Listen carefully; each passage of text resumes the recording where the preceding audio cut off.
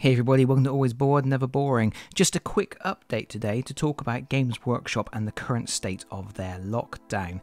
Originally, when they powered down the station and put down the shutters, they aimed to be reopening on April the 14th. However, they have announced today, on the 9th of April, that that is not going to be the case.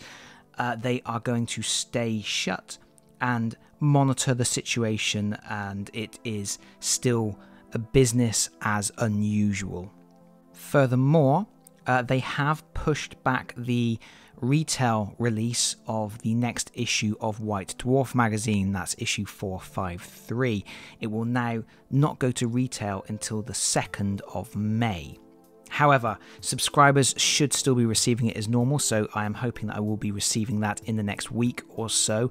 And it does have some more Blackstone Fortress content in it. It has a Deathwatch Watchmaster, which I'm assuming is going to be another one of these Army of One type characters that we have seen in the past.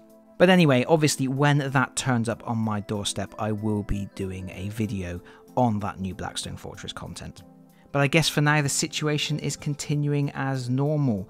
Games Workshop have not given any indication of when they might be reopening, but they have said that there is good news right around the corner because a dedicated team is working their socks off to make sure Games Workshop can reopen as soon as possible. So, hopefully, brighter news on the horizon. Until then, as always, stay safe, everybody.